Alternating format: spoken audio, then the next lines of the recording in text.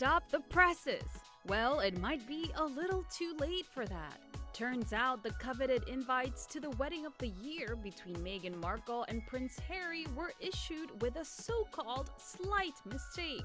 Kensington Palace released pictures of the elegant invites for the event that will take place May 19th. And there is something funny missing from them Miss Markle's complete name. The former Suits actress was actually born Rachel Meghan Markle, but has gone by her middle name almost her entire life. But the decision for her name to appear on the wedding invitations as Meghan is completely up to the bride and groom. Who definitely sticks to tradition? Harry's grandma, Queen Elizabeth who used Meghan's full name in her formal written consent to the marriage to her Privy Council. Wonder if the Queen calls her Meg or Rach?